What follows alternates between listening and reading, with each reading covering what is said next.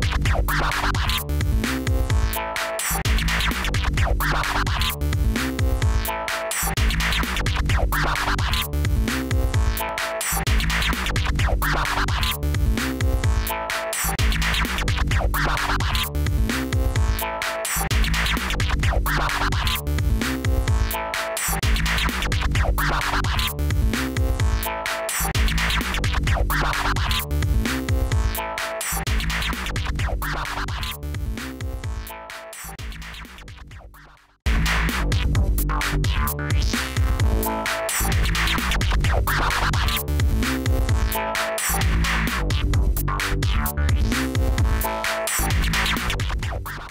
Welcome to another lesson in our series Investigating Geometry. My name is Eloise and I'll be working with Sharon and Theodore. In the last lesson, we were given a conjecture about the sum of the angles in a triangle. Then we proved the conjecture using deductive reasoning. We used logical steps that take us from the facts or premises to the conclusion. Today, we're going to see how much fun it can be to make our own conjectures. By the end of this lesson, you should be able to make, explain, and prove a conjecture about a polygon. And you should be able to make and prove a generalization about the sum of the interior angles of any polygon. The conjecture about the angles of a triangle was probably not a new idea to you. You've worked with angles of a triangle before, but what about other polygons like quadrilaterals and pentagons? What do you know about a hexagon, a heptagon, an octagon, a nonagon, a decagon, and an undecagon? Hey, even a dodecagon. And it doesn't stop there. Polygons can have 20 sides, 30 sides, 100 sides. All these shapes that we haven't explored. Hey, she's right. I mean, we can make up conjectures with these shapes. Perhaps we could find a rule that can deal with shapes that have a hundred sides. Wouldn't that be cool? We'd be famous. More famous than Pythagoras ever was. But then, where do we start? How about we start with an easier shape than that one? Like... Yeah, this hexagon here. I'll go with that. But look here, we've got like three hexagons here. Mm -hmm. And what can you say about them? They all have six sides. Well, duh. That's what hexagon means. Six-sided. Okay, Bright Spark. I was getting there. They also have six angles. And I think we should find out what the angles add up to. Like we did with the triangles. Oh, okay. Aren't you lucky I brought along this protractor?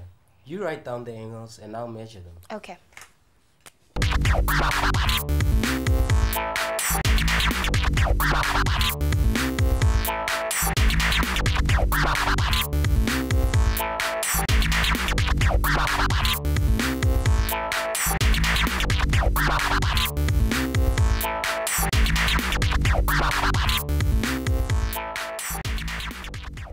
Look, they're close to 720 degrees each time.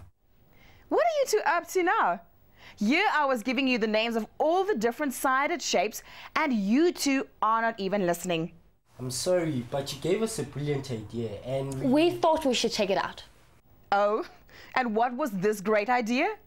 We thought we could find a rule that could work with the shape with 100 sides.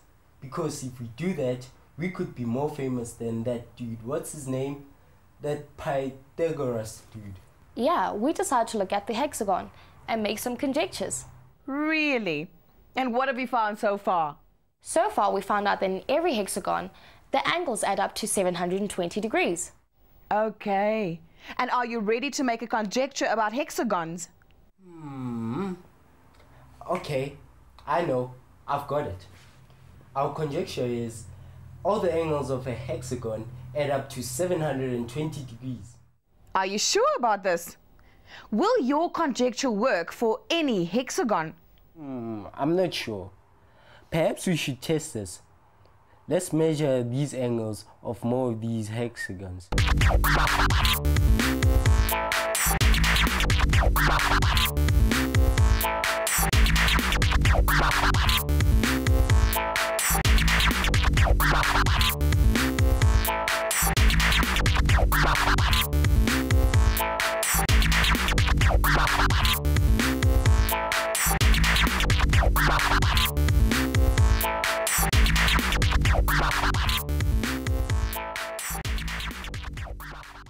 We've really checked lots.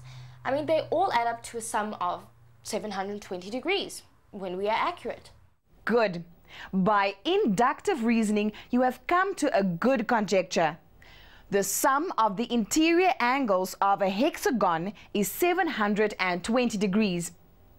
But how are you going to get from this conjecture to something about a shape with 100 sides? Hey, leave it to us. We can do it without you. We're on our way to being famous, remember? You are sounding pretty confident. Okay, I'll wait here quietly and watch you reach stardom. Okay, Sharon. So what's the next step to your plan? Well, I reckon that if we do more measuring on shapes that have four sides or five sides, then we'll have something that we compare the hexagon to. We need that so that we can find a rule that could apply to all polygons. Well, Sharon, let's start with the triangle. That's easy. It has three sides and the angles add up to 180 degrees. The next would be a shape with four sides, a quadrilateral, which means that angles of a quadrilateral add up to 360 degrees. Are you sure about that, Sharon? Yes, of course. Look here. I can make two triangles to form this quad.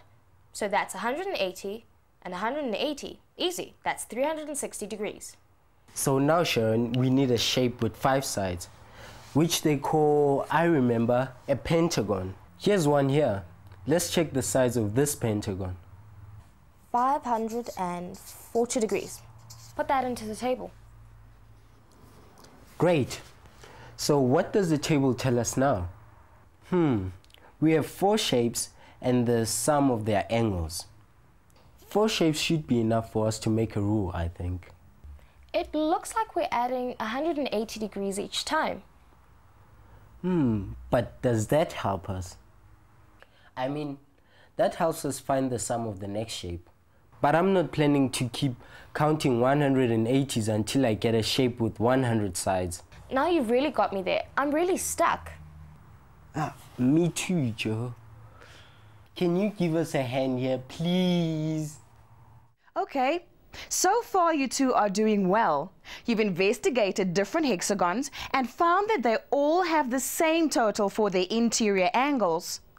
Then you looked at other shapes, the triangle, the quadrilateral and the pentagon. Then you compared the sum of the angles for each shape in a table. Remember that when we just try lots of different examples and keep getting the same results, we're using inductive reasoning. Your table has shown you a pattern, and now you can make a conjecture from that. Now think about this. Using your table, can you find the sum of the interior angles of a polygon with 100 sides?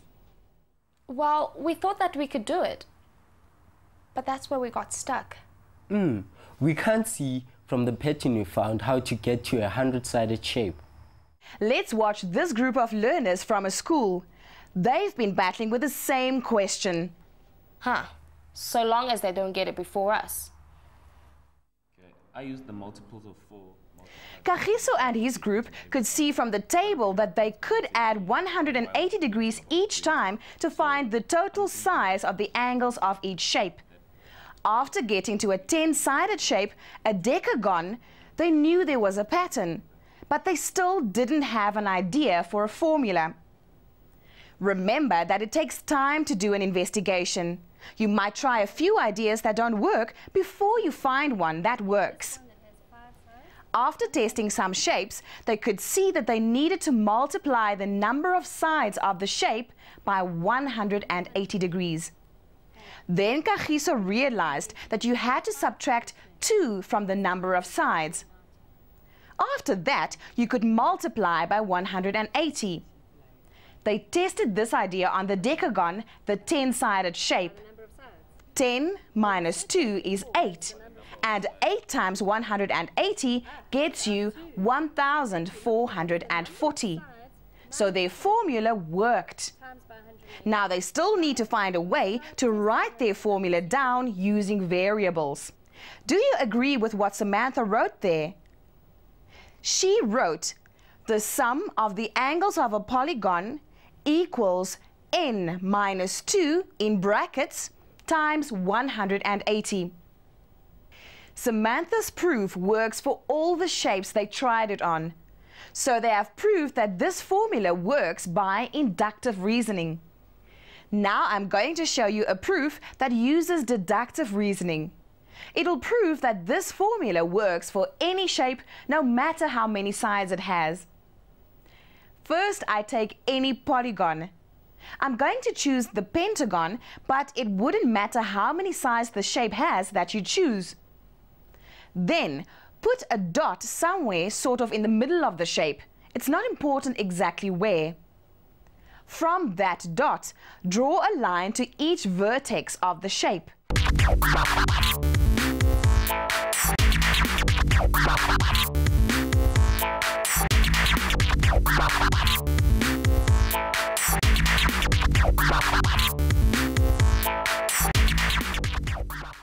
How many triangles are there in this pentagon now? One, two, three, four, five. Does this make sense? Let me check if I understand. If I were to draw a hexagon, would it mean that I would get six triangles? Yes. And this octagon over here has got eight sides, which means it should have eight triangles.